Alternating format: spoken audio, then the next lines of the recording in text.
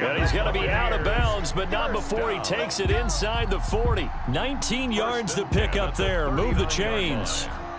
This offense finding its legs now. Here's another first and 10.